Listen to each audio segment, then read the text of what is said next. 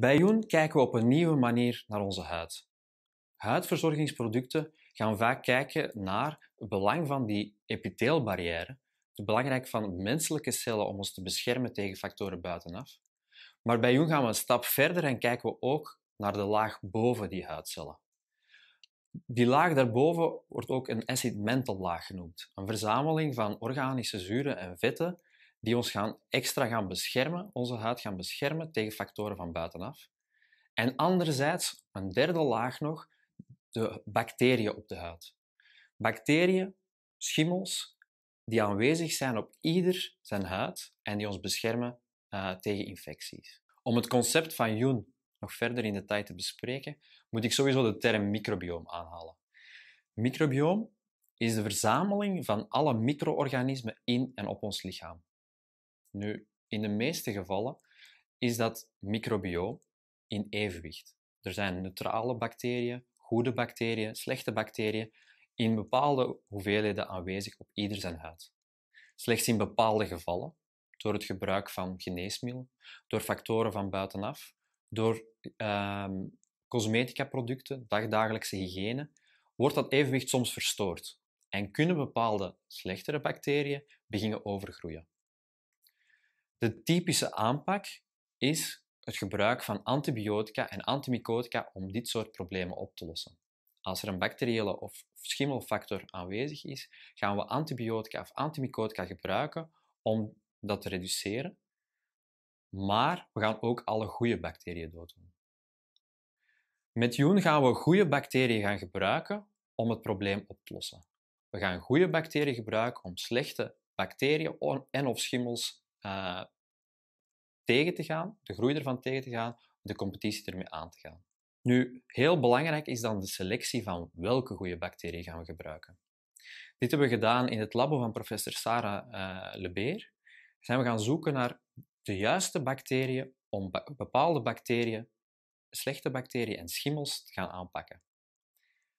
En wat we gezien hebben is eigenlijk dat de bacteriën die we van de moeder meekrijgen, melkzuurbacteriën of lactobacillen, dat die juist degenen zijn die heel goed zijn om een aantal uh, probleemveroorzakende bacteriën en schimmels tegen te gaan. Om nu levende bacteriën uiteindelijk in crèmes en uh, sprays te gaan ontwikkelen, hebben we moeten samenwerken met het departement van farmaceutische wetenschappen van de Universiteit van Antwerpen. Uiteindelijk hadden we eigenlijk drie nieuwe innovaties nodig. We moesten onze levende bacteriën in crèmes en, uh, gaan kunnen krijgen en daarvoor hebben we gewerkt met microcapsules. Anderzijds wouden we sprays gaan ontwikkelen, ook met levende bacteriën. En ten derde moesten we natuurlijk ook onze emulgatoren en bewaarmiddelensysteem gaan aanpassen om te kunnen werken met levende bacteriën. De eerste innovatie is is de ontwikkeling van microcapsules. Deze microcapsules waren nodig om onze bacteriën levend te kunnen houden in onze crème. In een crème zit steeds water. En als bacteriën in contact komen met water, gaan ze willen groeien en gaan ze het product slecht maken. En we willen uiteindelijk een crème met een stabiel levende, met levende bacteriën. De microcapsules schermen onze bacteriën af van de rest van de crème. En in de kern zitten ze in een soort van slapende modus, een soort van dormante staat, waar ze metabool inactief zijn. Als we die microcapsules in de crème gaan aanbrengen op de huid, gaan we die microcapsules openwrijven en gaan ze uiteindelijk vrijkomen op onze huid, in contact komen met het beetje water op de huid en uiteindelijk hun werking kunnen doen.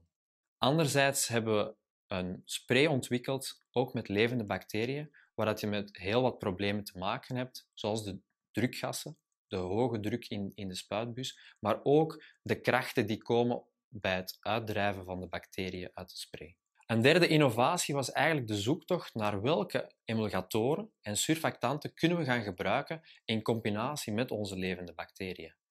En daarbij nog de bewaarmiddelen die effectief ook compatibel zijn met onze producten. Bewaarmiddelen die actief zijn in het product, maar eens geappliceerd worden op de huid, uh, inactief. Nu, wat is er zo uniek aan Jun-probiotherapie? Wel, met Jun-probiotherapie gaan we levende bacteriën gebruiken om het huidmicrobioom te herstellen. Heel verschillend van maag-darmtoepassingen is het aantal bacteriën dat aanwezig is op de huid. Op de huid zijn heel wat minder bacteriën aanwezig, ongeveer een 10 tot de vijfde à 10 tot de zesde per vierkante centimeter. Met onze ACN-crème en onze spray gebruiken we een veelvoud van dit aantal bacteriën, 10 tot de achtste, 10 tot de negende of zelfs meer van de bacteriën, om het probleem op te lossen. Verder vinden we de veiligheid heel erg belangrijk. We werken met onze goede bacteriën op het huidmicrobioom.